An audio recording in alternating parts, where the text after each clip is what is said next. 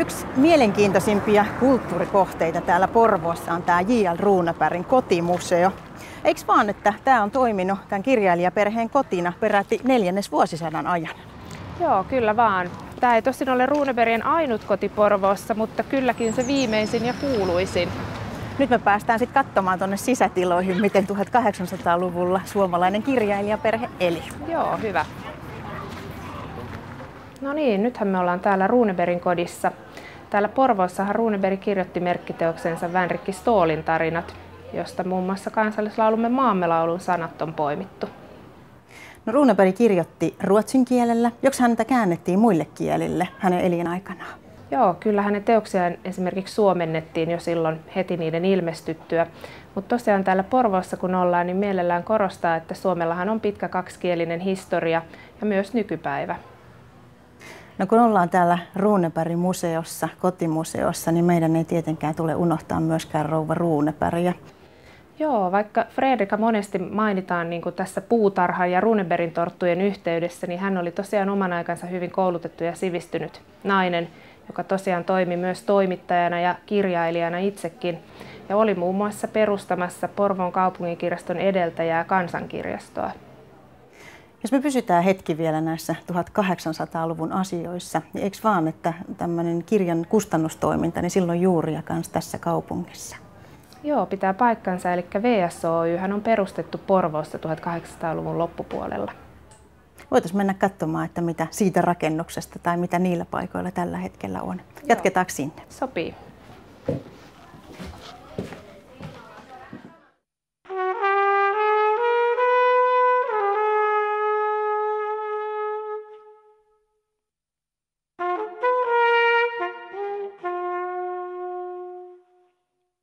No nyt me ollaan VSOYn entisen pääkonttorin aulassa. Eli VSOY perustettiin Porvoossa 1878 ja toimi täällä 30-luvulle asti, jolloin pääkonttori sitten muutti Helsinkiin. Miten Katja, ketä varhaisia kirjailijoita VSOY on kustantanut?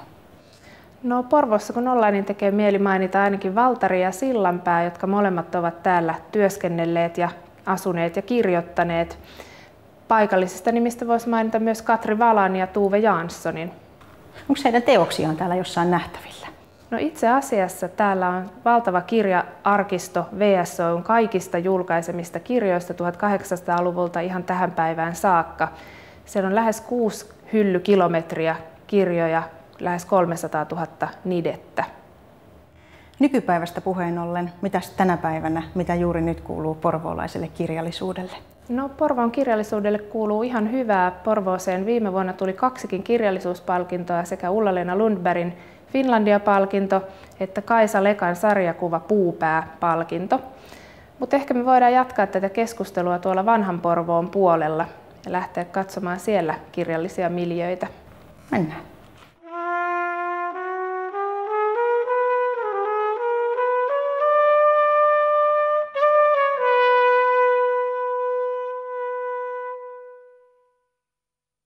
Joo, no nyt me ollaan tässä vanhan Porvoon sydämessä ja runoilijakodin eli Diktarhemmetin ulkopuolella. Tämä on Svenska Litteratursällskappetin omistama kirjailijakoti, jossa asuu aina yksi suomenruotsalainen kirjailija. Tässä on tämä talon julkisivu. Me voidaan ehkä käydä tuolla puutarhan puolella katsomassa, miltä siellä näyttää. Joo, käydään siellä. Kukas Katja tällä hetkellä tässä talossa asuu? No nyt täällä asuu Krister Chiilman, Häntä ennen tässä on asunut muun muassa Lars Huldén ja Rabbe Enkel. Talossa on asunut joku suomenruotsalainen kirjailija aina 20-luvulta asti. Eli oletettavasti sitten tässä talossa on syntynyt aika monta sellaista teosta, jota ihmisten kirjahyllyistä ja tietenkin myös tuolta kirjastohyllystä löytyy. No joo, kyllä vaan, että meidän kotiseutukokoelmasta löytyy Porvoossa kirjoitettuja porvoolaisten kirjailijoiden töitä ja Porvoosta kertovia kirjoja. Olisiko meidän mahdollista mennä katsoa seuraavaksi sitä kokoelmaa siellä, tutustua näihin teoksiin paikan päällä? Joo, totta kai.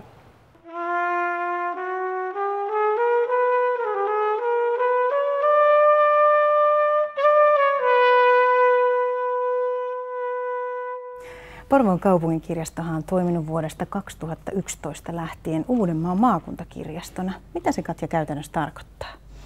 No joo, maakuntakirjastoillahan on erilaisia tehtäviä sitten näiden tavallisten kirjastotehtävien lisäksi. Ja maakuntakirjastona me järjestetään muun muassa koulutusta kirjastojen henkilökunnalle, tiedotetaan asioista.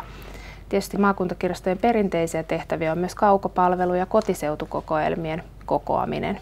Ja kotiseutukokoelmasta puheen ollen, niin sä oot kerännyt tähän pöydälle näytteitä porvoolaisesta kirjallisuudesta. Ja kertoisitko näistä? Esitteletkö? Joo, no tässä on nyt vähän uutta ja vanhaa. Tässä on Ulla-Leena Lundbergin Iis, joka sai viime vuonna Finlandia-palkinnon. Ja sitten tässä on Kaisa Lekan sarjakuvia. Kaisa Leka sai viime vuonna Puupäähattu-sarjakuvapalkinnon. Sitten meillä on tässä Krister Gielmanin teoksia ja hänen elämäkertansa. Ensi vuonna juhlitaan Tuve Janssonin satavuotisjuhlia. Sitten tässä on Mika Valtarin Tanssi yli hautojen kertoo Porvoon valtiopäivien ajoista 1809 vuodelta. Johannes Linnankoskikin on vaikuttanut täällä Porvoossa, työskennellyt ja asunut tuolla Askolassa. Sitten meillä on vielä Erik Wallströmin Flugtemjären tässä, joka kertoo Runeberistä. Eli Runeberg on hänen kaunokirjallisen teoksensa päähenkilö. Tämä nyt on tämmöinen pieni, pieni valikoima porvoolaista kirjallisuutta ja kirjallisuutta, jossa Porvoo toimii niin kuin tapahtumapaikkana. Eli näytteitä kokoelmasta. Mutta tota, kertoisitko vielä tuosta Runeberg-palkinnosta? Joo, Porvossa jaetaan vuosittain tosiaan Runeberg-palkinto, joka on tämmöinen suht tunnettu ja valtakunnallisestikin merkittävä kirjallisuuspalkinto. Siinä on mukana Porvon kaupunki ja esimerkiksi tämä Uusimaa-lehti. Ja kirjastossa se näkyy joka vuosi niin, että palkinnon saaja on yleensä täällä haastateltavana sitten, kun tämä on julkistettu. Meillä on yleensä myös tämmöinen oma varjoruuneberi-äänestys, jossa voi äänestää omaa suosikkiaan näistä ehdokkaista tai sitten jotakin ihan muuta, minkä olisi ajatellut ansaitsevan tämän Ruuneberi-palkinnon, että näin se ainakin niin kuin näkyy täällä kirjastossa vuosittain. Kiitokset Katja.